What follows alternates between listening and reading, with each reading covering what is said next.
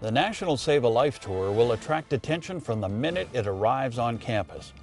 Our trained technicians will unload and set up and maintain the event equipment at your location for the duration of the event, which is usually about six hours. Be sure to ask your Kramer representative for the program length and performance options for your campus.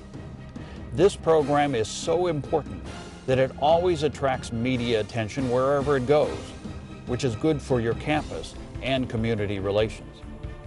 A live host, two giant video screens, several large TV monitors, professionally produced music and videos, attention-getting graphic displays, along with the most realistic interactive drunk driving simulator on the planet.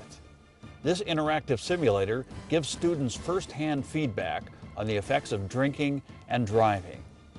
While sitting in the simulator, participants are able to drive a virtual car through a fully interactive environment of more than 100 miles of varied roadway. The computer also tracks all the traffic laws each driver breaks and the severity of collisions should they occur.